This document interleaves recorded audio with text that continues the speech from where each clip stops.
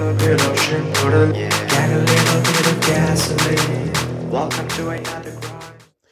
Yo mensen, tof we kijken deze video. Mijn naam is Wesley van FIFABoy 1999 met vandaag weer een nieuwe Robin van Persie AS Monaco Career Mode. En vandaag hebben we de wedstrijd tegen eh, Braga die we gaan spelen. De eerste wedstrijd tegen Braga, de volgende aflevering hebben we de andere wedstrijd. Maar eerst is nu deze eerste wedstrijd tegen Braga. We gaan kijken wat het wordt. De kwalificatie van de Champions League. Dus de eerste kwalificatie tegen deze tegenstander. En dan hopen dat we gelijk een goed resultaat kunnen halen. Dat is een uitwedstrijd. Dus dat is positief, want ja, de volgende is dat thuis. Dat, normaal, dat is normaal. Maar goed, maakt niet uit. In ieder geval gaan we dus kijken of we nu uit een goed resultaat kunnen halen tegen eh, Braga. We zijn begonnen aan die wedstrijd en de vrije trap is ook al gelijk voor hun. Vroeger in de wedstrijd hebben ze een vrije trap gekregen. En wordt de vrije trap hier genomen. Weggekopt, bijna de kans. Nou, de doelman hier weer de bal klem. Hebben jullie dan niet echt een goede doelman achtergelaten? Ik ga denk ik toch voor de volgende aflevering kijken of ik een goede jonge doelman kan vinden. Want om deze 31-jarige doelman nog te gaan, gebruiken, zie ik niet echt zitten. Misschien uh, Leni of verraad ik hem wel om of ik verkoop hem nog. Hier komt in ieder geval de eerste kansen voor eh, AS Monaco. Maar hij krijgt er wel jammer genoeg niet in. De hoekschop wordt hier nu genomen door, ehm door AS Monaco. Candy, Luis Felipe. Luis Felipe, schot geblokt. Dan word je nog bij eh voor speler van AS Monaco en de bal weer onderschept. Is bal dus weer voor de tegenpartij toch niet. Goed, weer goed gedaan door sterk. Kennedy, Kennedy nu, Kennedy, Hatenboer. Hatenboer. En zoekt en vindt niet, want er wordt eh, een klem gepakt door de doelman van Braga. Dus het blijft nog steeds 0-0 tussen Braga en Monaco. Maar AS wordt dus wel sterker deze eerste helft. Eerst kwartier. Hatenboer, nu hier wel bij Geubels. Die raakt de bal jammer genoeg kwijt. Die kans is ook voorbij. Dan is de bal weer voor de tegenpartij. Martins. Corluca. Ruiz. Achtervolgd door zijn medespeler. Dat lukt ook, want we hebben de bal onderschept. Hier de bal bij uh, Wadichal. Luis Felipe. Ja, sommige namen bij onze elftal, jongen, daar kan ik me echt niet aan wagen. Nihang. De man die nou dus nog bij, het, eh, bij de club zit, maar die gaat dus weg, dat weten jullie. We hebben de transfer voor eh, geaccepteerd en die gaat ook, het is de laatste wedstrijd trouwens ook voor AS Monaco. Die gaat hierna vertrekken.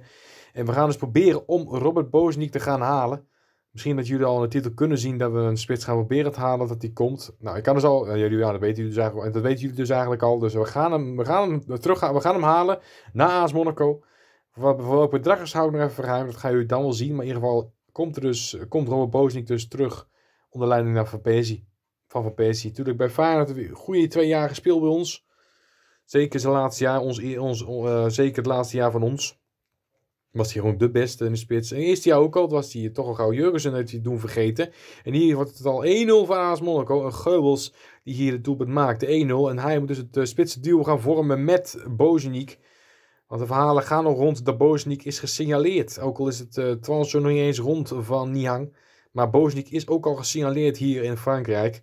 Bij AS Monaco. Natuurlijk kent hij van Persie heel goed. Tijdje spitsige trainer geweest natuurlijk bij Feyenoord. Toen dus uh, hoofdcoach twee jaar. En nu is de stap gemaakt naar AS Monaco, waar we dus het eerste jaar bezig zijn. En dus 1-0 voor staan hier trouwens deze wedstrijd. Maar we zijn dus uh, al één jaar bezig. We ja, toch wel hopen dat het een goed jaartje gaat worden hier. Kwalificeren voor de Champions League zou een mooie, mooie stap zijn. Geubels. Geubels komt er dan uit. Geubels komt er nu de kans voor de 2-0. Voorzet richting Hatenboer. En het is 2-0 voor AS Monaco. En het is weer Hatenboer. Hans Hatenboer. Die toch wel steeds het goed doet hoor. Bij uh. Bij, bij, nou, bij South. Nee, niet bij Southampton. Bij AS, AS Monaco. Ik ben even de waar met de Korean van morgen. In ieder geval doet uh, Hans Hatenboer het perfect bij AS Monaco. In de eerste helft dus 2-0 voorsprong is voor AS Monaco. En het lijkt dus geen vuiltje aan de lucht voor de ploeg van Robin van Persie. Gomez komt aan de eerste uitbraak voor Braga. Gomez. Gomez. Gomez. Paas wordt gegeven. Uitkijken nu voor uh, AS Monaco. Wat heet het is het doelpunt. Het is de aansluitingstreffer zo vlak voor rust. De 1-2. Nog geen vuiltje aan de lucht zou je zeggen. Ook is het maar één doelpunt verschil. Dus het is wel altijd oppassen natuurlijk voor AS Monaco. Want het kan zomaar verkeerd aflopen. Want je, ja, het is het voetbal. Je weet maar nooit hoe het gaat lopen. Aftrap genomen hier uiteindelijk weer. 43 minuten is nu. Laatste minuten voor deze eerste helft voorbij is. Misschien komt er nog een uitbraak voor de 3-1 zo vlak voor rust voor AS Monaco. Bal terug. Niang. Niang. Oeh, zo de voeten van de tegenspeler. Dat kan een dure fout worden als hier de bal eruit komt. Palinho komt eruit. Was een dure fout van de man die waarschijnlijk vertrekt. Uh. Komt er dan ook de 2-2? Die komt er. Een dure fout van de spits die vertrekt. En zo is het zo vlak voor rust nog te gelijk maken. Dan gaan we hopen op een goede tweede helft. Want het leek er toch niks aan de hand in deze eerste helft. 2-0 voor. Maar dus nu 2-2. Door het laatste de fout van de spits die vertrekt. Hatenboer hier. Hatenboer richting uh, daar rechtsachter. Naam ik niet ga proberen uit te spreken. Komt hij met een voorzet. Hij geeft de paas op Geubels. Geubels. Schot geblokt. Nog een keer Geubels. Nu afgeven. Bazoer. En opnieuw geblokt. En daar ik niet, nou, niet de handen vast. Weggebokst. Zo, de voeten dus weer van Kennedy. Kennedy. Bazoer. Bazoer. Weer naast van schot. En de bal gaat er in. Gaat net naast. Had de 3-2 kunnen zijn voor AS Monaco. Maar het zit er niet in. De 2-3 kun je weten zeggen. Doeltap dus. Doeltap is genomen. Horta op Bazoer. Het is laatst genoemde. Bazoer krijgt hem bij Geubels. Geubels, Nihang. Nee, niet bereikt. Hij wil natuurlijk zijn fout goed maken, Nihang. Die uh, ervoor zorgt dat het 2-2 kan zo vlak voor rust. En de balbezit is nu weer voor Braga. Ze worden weer uitkijken nu voor AS Monaco. Kunnen de bal onderscheppen. Horta. Dit uh, lijkt toch wel een sterk begin in deze tweede helft voor de, voor de thuisploeg. Komen ze eruit? Ze komen eruit. Komt er dan de 3-2? Laten we hopen van niet, zeg. Verdedigers moeten even goed staan. Nu dat gebeurt ook. Goed gedaan. Nu de aanval weer voor AS Monaco misschien. Hier met uh, Bazoer. Bazoer en hangen Geubels natuurlijk voorin. Bazoer gaat alsnog zelf. Nu naar Nihang. Die behoudt de bal. Nihang kan net doelpunt maken. Kan de 3-2 maken. En hij maakt de 3-2. De man die dus waarschijnlijk, nou, waarschijnlijk die gaat vertrekken. Scoort hij dan de 3-2 en maakt zijn fout van voor de rust goed. Die de bal zo de voeten van de uh, tegenspeler werkte. Waar de 2-2 uitkwam. En hier schiet hij de 3-2 binnen voor AS Monaco. 3-2 door uh, Nihang. We gaan kijken of uh, AS Monaco er nog meer van kan maken deze wedstrijd.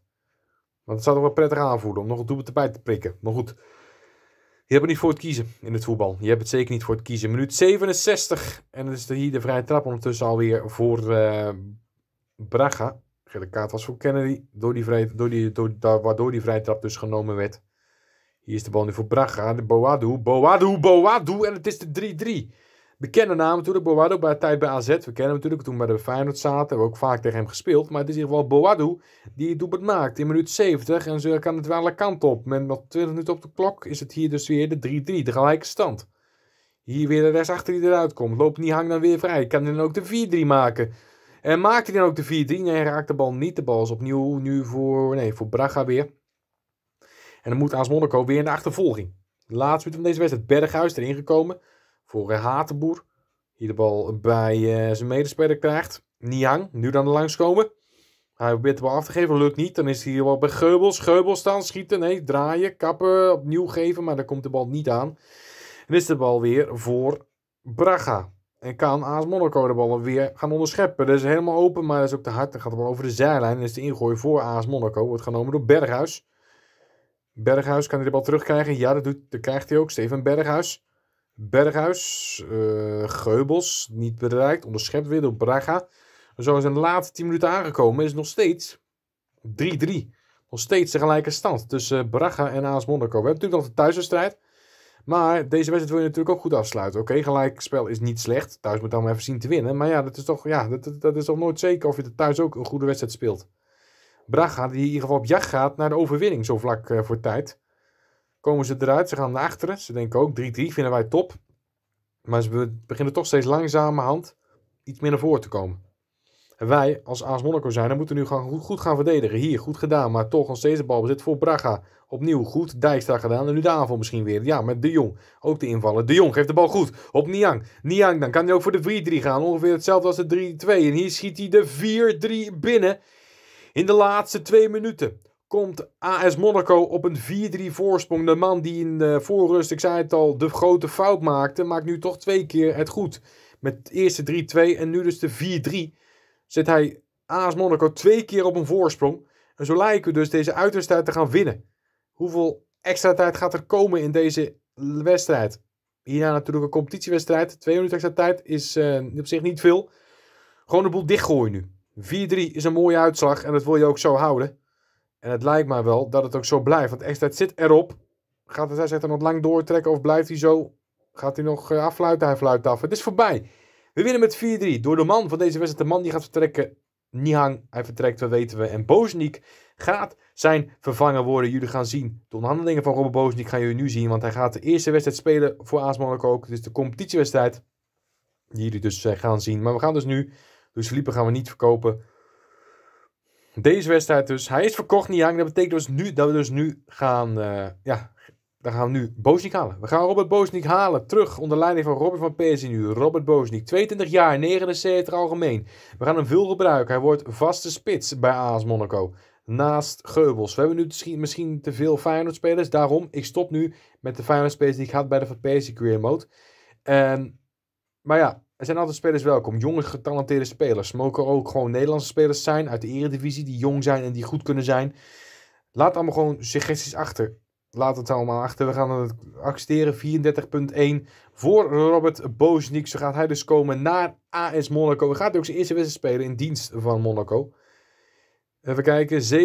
17,5 qua salaris. Daar gaan we akkoord. Vijf jaar gaat hij mee akkoord. Cruciale rol. Hij wordt basisspeler. Geen afkoopclausule. En dan gaan we zijn salaris maar bepalen van dit. En dat gaat hij mee akkoord. Oh, iets, iets meer. Oké, nou, bonus verwijderen. En dan gaat hij akkoord. Robert Boznik is officieel de nieuwe spits naast Geubels bij AS Monaco. En we gaan gelijk kijken. Hier, we gaan, ik ga daar nog een speler halen. Dat is niet de enige transfer. Dembele, die Jula had achtergelaten in de reacties, gaan we ook halen naar AS Monaco. Leek me ook een goede speler. 19 jaar, 72 algemeen. Gaan we ook zeker vaak gebruiken. Hij komt op de bank te staan. Dus we moeten hem gewoon sowieso vaak trainen. En dan gaat hij zelf hoog worden qua potentie. Hij is rechtsmid. Ik ga hem misschien linksmid maken. Want we hebben al heel veel rechtsmids. We hebben Berghuis. We hebben Hatenboer. Nu dus ook al Dembele. Dus goed, we gaan een ruildeal kijken of we de speler willen ruilen. Nee, ze willen 4.8. Hebben we nog een andere speler die we kunnen ruilen voor hem?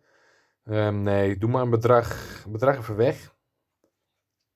Dan ruilen we een vleugelspeler aanvallen. Ja, Pellegrini.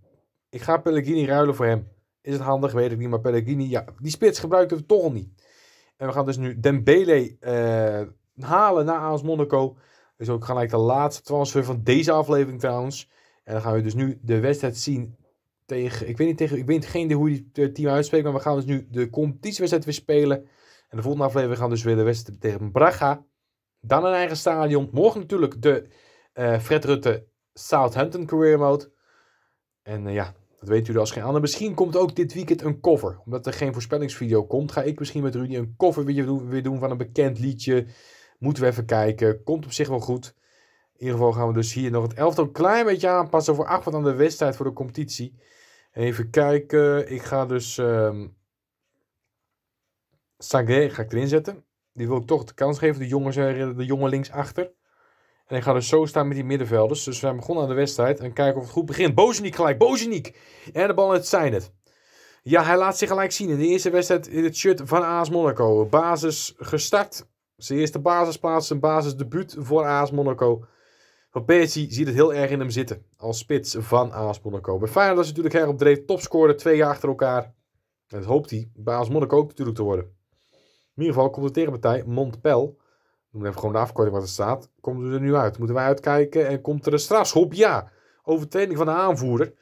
En is het de strafschop voor uh, Montpel. Ja, ja, het is een, ja, de, breed gemaakt. Het is strafschop en dan wordt het dan ook de 1-0 of de 0-1. Het is inderdaad de 0-1. Keeper gaat de verkeerde hoek in. En het is dus de 1-0 achterstand voor AS Monaco. De voorsprong voor de tegenpartij. Dan gaan we kijken of wij terug kunnen komen van een achterstand. De eerste keer trouwens volgens mij dat we van een achterstand, dat we, dat we achter staan met AS Monaco. Komen ze er dan nu uit voor de, uh, voor de 2-0? Nee, want wij komen er misschien uit voor de 1-1. Lukt dat? Het lijkt er niet om, want de bal is alweer voor Montpel. En ze komen er ook langzamerhand uit. Oppassen geblazen dus. Ongeveer bijna een half uur gespeeld. Nog steeds die 1-0 achterstand. Komen ze eruit? Het lijkt er wel op. Gloues Philippe goed onderschept. Nu weer de aanval. Misschien Geubels. Geubels zoekt naar Bozeniek. Die wil natuurlijk zijn doelpunt maken. Bozeniek wordt bereikt net niet. En de keeper moet hem nog uh, wegtikken. Ze worden nog gevaarlijk van afstand hier. Schot geblokt. Ja, strafschop. Strafschop voor AS Monaco. Twee strafschoppen tot nu toe in deze wedstrijd. En wordt het dan de gelijkmaker van Steven Berghuis. Wordt het Berghuis of Omlien? En het wordt Omlien met de redding. Berghuis mist de strafschop. Geen gelijkmaker voor Monaco, uh, Monaco maar wel de hoekschop. Berghuis dan nu opnieuw. Schot geblokt. Dit is nee, geen strafschop, niet tegen de hand. Zou wat zijn, zegt twee, twee strafschoppen snel achter elkaar. Maar dat gebeurt niet. En bal uiteindelijk weggewerkt. Hier de bal bij Boznik. Nee, net niet. De bal is weer voor de tegenpartij Montpel. Dus het is de matige eerste helft voor uh, de ploeg van Robin van Persie. Wel een aantal kansjes gehad, maar niet echt van top. De tegenpartij is, de, is toch wel sterker deze wedstrijd, de- deze wedstrijd, de uitploeg. Doorlegt, eh De- Delort, sorry. En dan komt er weer Forrest. Dan komt er toch weer de kans. Onderschept Kennedy. Nee, niet. Nog steeds balbezit dus. Nu wel gedaan. Goed, Bazoer. Bazoer eh, Fafona. Fofon, Fofana. Sorry. In ieder geval is het dus nu de balbezit weer voor AS Monaco. Goeie paas op Berghuis. Berghuis er nu wel. Berghuis nu wel. Ja, binnenkant paal erin. En de gelijkmaker voor AS Monaco. Zo vlak voor rust. Steven Berghuis schiet zijn ploeg op een gelijke stand. Moet ik trouwens even weer aanvoerder maken, Steven Berghuis. Want ja, hij was toen geblesseerd. Dus toen was Luis Felipe even de aanvoerder. Moet niet vergeten voor de volgende aflevering. Berghuis even terug aanvoerder te maken. Maar in ieder geval is het de gelijkmaker van Steven Berghuis. En lijkt het naar die gelijkmaker we het licht gezien te hebben. En Robert Boznik wil natuurlijk op jacht naar zijn doelpunt. Geubels nu weer richting Berghuis. Berghuis voor, voor zijn tweede. Het is zijn tweede. Nou, wat speelt Berghuis? Een goede wedstrijd, zegt deze, ja, deze aflevering. De tweede wedstrijd in deze aflevering, de competitiewedstrijd. Steven Berghuis, twee doelpunten. Hij miste de strafschop, maar schiet hier wel twee doelpunten feilloos binnen. En dan is het 2-0, eh, 2-1 voor AS Monaco. Van een achterstand naar een voorsprong. En zo eh, doet de oud Feyenoord dat goed. Nu komt toch weer Montpel eruit voor de gelijkmaker. Zo vlak na het begin van deze tweede helft. Komt dan het kans door eh, Delort. Delort, schietkans. Nee, verdedigt goed op het laatste moment. Goed verdedigd zegt Luis Felipe. Nu weer de aanval misschien. Luis Felipe, Fofana, Bazoer, Bazoer, Bozeniek. Ja, Robert Bozeniek wil natuurlijk ook een stempel de wedstrijd drukken. Kan natuurlijk de goede paas geven. Bazoer. Bazoer, Geubels gaat eh, daar overheen. Had hij misschien beter niet kunnen doen. Had ze beter kunnen aannemen. Niet gedaan. Bal aan de voeten hier weer voor AS Monaco. Luis Felipe. En Bozeniek weer. Bozeniek. Kennedy. De bal niet bij een medespeler. Toch nog steeds voor AS Monaco. Kennedy. Kennedy. Bazoer. Krijgt hem per toeval nog bij Geubels. Terug naar Bazoer. En het is de 3-1 voor AS Monaco. En dit keer is het Richetli Bazoer. Die ook al in de eerste competitiewedstrijd goed bezig was. En hij gaat door. Waar hij gebleven is. Waar Hatenboer klaar staat om in te vallen. Dat is voor de Kennedy. Hatenboer dus nu op de linksvoorpositie. En Berghuis gewoon op de rechtsvoor. Hier de bal bij Hatenboer.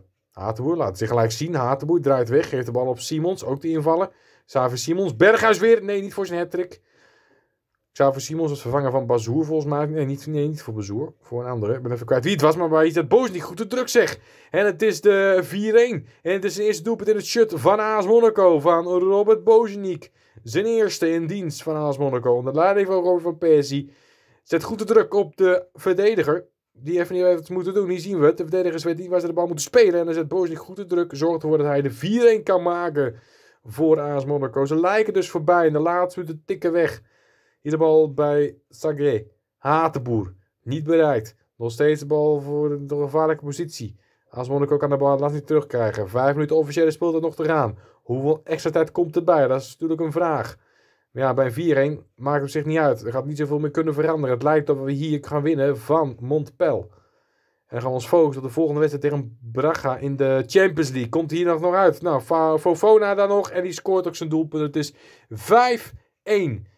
5-1 voor AS Monaco. Waar eh, Dijkstra nog binnen de lijnen gaat komen voor Luis Felipe.